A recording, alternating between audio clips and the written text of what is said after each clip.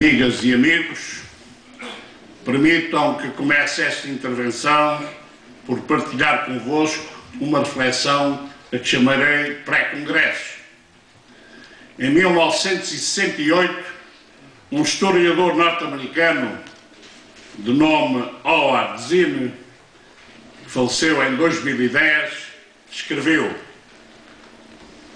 A desobediência civil não é o nosso problema. O nosso problema é a obediência civil. O nosso problema é que pessoas por todo o mundo têm obedecido às ordens de líderes e milhões têm morrido por causa dessa obediência. O nosso problema é que as pessoas são obedientes por todo o mundo face à pobreza, à fome, à estupidez, à guerra e à crueldade. O nosso problema é que as pessoas são obedientes enquanto as cadeias se enchem de pequenos ladrões e os grandes ladrões governam o país. É esse o nosso problema.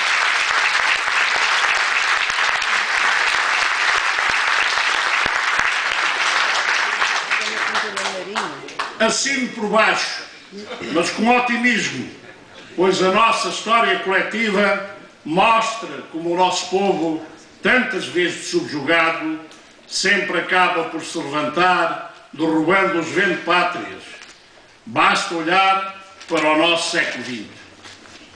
Contudo, causa espanto que no nosso país, desde 1976, a história se repita com terríveis consequências. Dois partidos tornaram-se donos disto tudo. Ou sozinhos, ou coligados, num centrão corrupto, ou pior ainda, recorrendo a uma bengala com o nome de partido, sempre pronto a partilhar a mesa do orçamento. Pois é para isso que existe. Isto é, há 38 anos que andamos a ser governados por uma troika interna que, dado o fracasso das suas políticas, sempre iguais no fundamental, já por três vezes recorreu a uma troika externa, transformando Portugal num protetorado e lançando as suas populações mais frágeis, incluindo uma grande parte da classe média, para uma pobreza aviltante ou e para a imigração. Ao contrário de muitos membros da classe política que cá continuam, esses não imigram. Em parte, eu digo em parte, porque felizmente ainda há muitos que assim não são, desavergonhadamente gordos de tão ricos. Chegou, contudo, o tempo de se dar um estrondoso muro na mesa.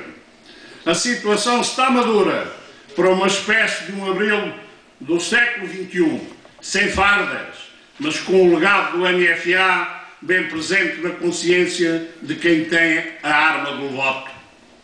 E para podermos concretizar a utopia, bela entre todas, de ser de novo o povo que é mais ordena no nosso país, precisamos urgentemente de uma tripla ruptura que passa obrigatoriamente por novas políticas, novas alianças e novas práticas de governação e de linguagem.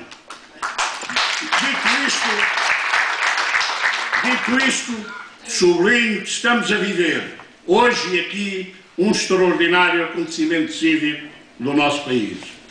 A Associação 25 de Abril pretendeu organizar um congresso diferente e conseguiu.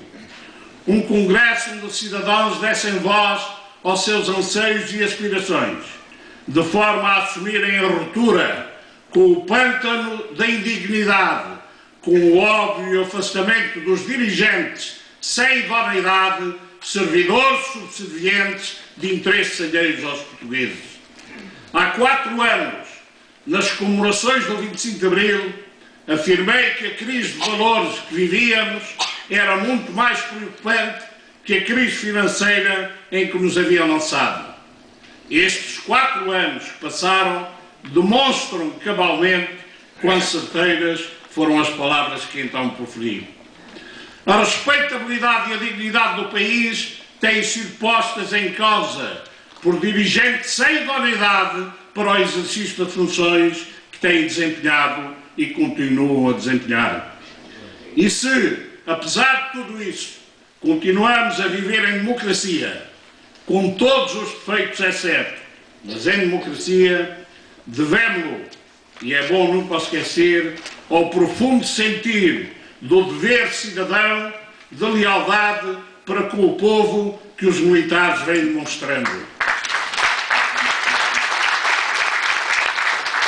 Importa aqui realçar que a lealdade é para com o povo, para com os camaradas de armas e para com o poder legítimo e legalmente constituído. Mas é bom, é bom lembrar a quem exerce este poder que este vem apenas em terceiro lugar na hierarquia das lealdades. Apesar de todos os maus tratos de que têm sido alvos com a destruição da condição militar, os soldados de Portugal têm resistido a todas as tropelias dos governos, extraordinariamente agravadas pelo que ainda nos desgoverna. Maltratados, o seu sentimento de dever patriótico tem-os levado a cumprir todas as missões, de forma denodada e dignificante, nomeadamente as de intervenção na política externa. Acreditamos que o sentimento do dever cívico continua a sobrepor-se aos sentimentos de revolta, causados pela incompetência e pela substituição do Estatuto da Condição Militar por um Estatuto de minoridade não adequado à especificidade das Forças Armadas nem ao que está estabelecido na Constituição. Como acreditamos também que se alguém tiver a veleidade de tentar utilizar as Forças Armadas como instrumento de repressão dos portugueses, elas saibam compreender que o seu dever de lealdade é para com o seu povo e não para com os que conjunturalmente ocupam e exerçam, e exerçam o poder. Hoje,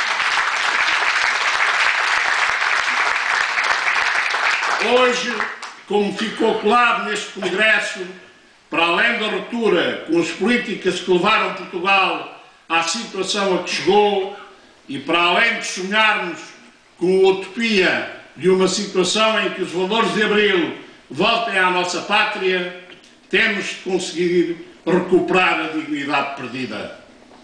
No presente, como afirmou o capitão de Abreu Carlos Matos Gomes, os três Ds do programa do MFA assumem o significado de um grande D de dignidade.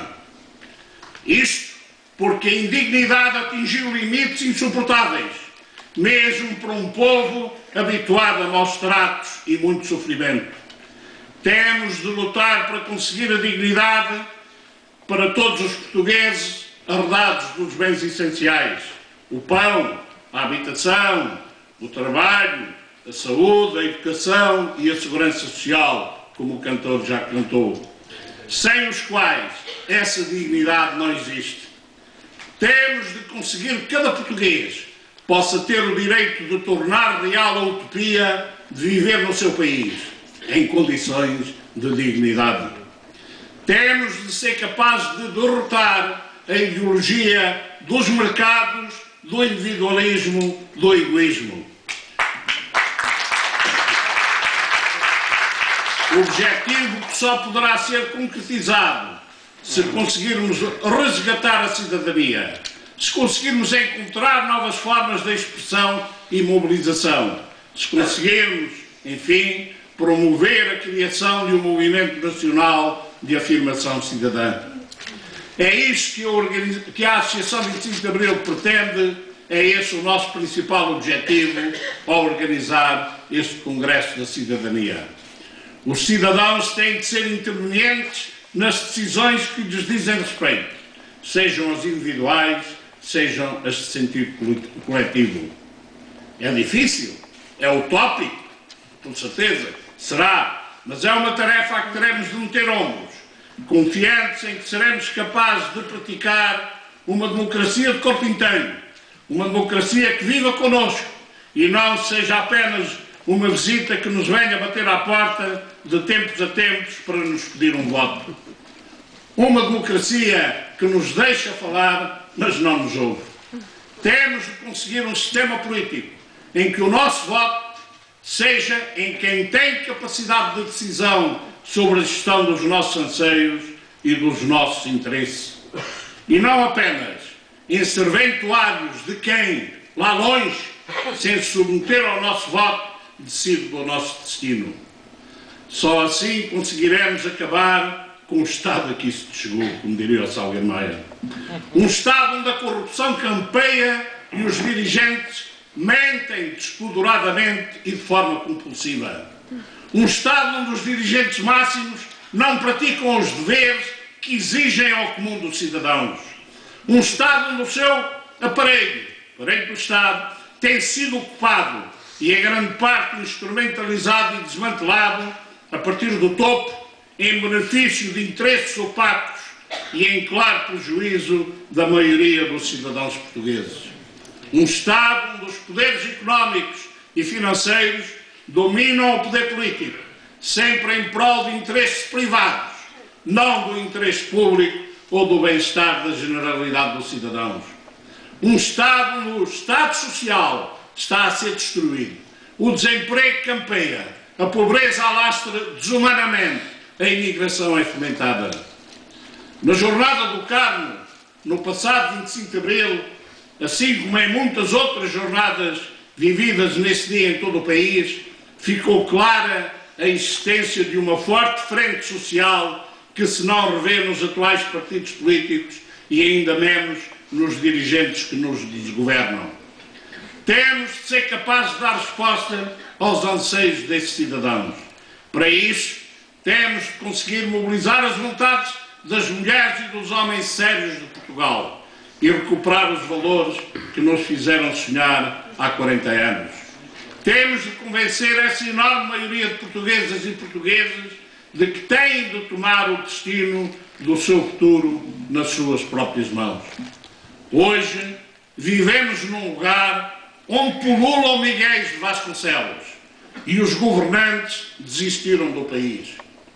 Desistiram de ter um Portugal digno da sua história de quase 900 anos. Venderam-se ao estrangeiro, transformando-nos num protetorado onde há clássica ocupação bélica só faltam as botas casadas. Eles desistiram, mas nós não vamos desistir. Temos o direito, e por ele vamos lutar, a continuar um Portugal livre, um Portugal onde os seus donos sejam os portugueses. Um Portugal onde o Estado Social, com um serviço de saúde universal, com uma educação que prepara os seus cidadãos para o futuro, com direito a um trabalho estável e não precário, com direito a uma habitação digna e a uma segurança social que garanta uma velhice com dignidade. E, acima de tudo, um Portugal onde a justiça social seja uma realidade e não apenas uma miragem. Um Portugal devidamente inserido na comunidade internacional, nomeadamente no seu espaço geográfico que é a Europa, mas com dignidade e estatuto de igualdade com todos os outros. Para isto, conscientes da nossa ancestral capacidade de relacionamento com todos os povos do mundo, temos de ser capazes de questionar a atual situação na União Europeia, com a certeza de que não estamos isolados. A atualidade mostra-nos que o projeto solidário e fraterno de uma Europa livre e democrática, um projeto civilizacional, foi substituído por um mercado. Mas nós, como já alguém disse, devíamos ser argonautas e não agiotas. A crise na Europa assenta na indignidade de transformar uma aventura num regateio, numa ida às compras. A crise na Europa é uma crise de mesquinhez. Por isso, repito o que no Carmo afirmei. Pertencemos à Europa, irrevogavelmente, pela cultura, pela história, pelos milhões de portugueses que estão no seu território. Mas não queremos, não aceitamos ser o lumpen proletariado da Europa. Queremos pertencer a uma União e não a um Império. Somos europeus, não somos sub-europeus. As nossas razões para estarmos na Europa são o respeito mútuo, a igualdade, a solidariedade. E por isso, insisto, Se a União Europeia continuar como está, então será preferível sairmos.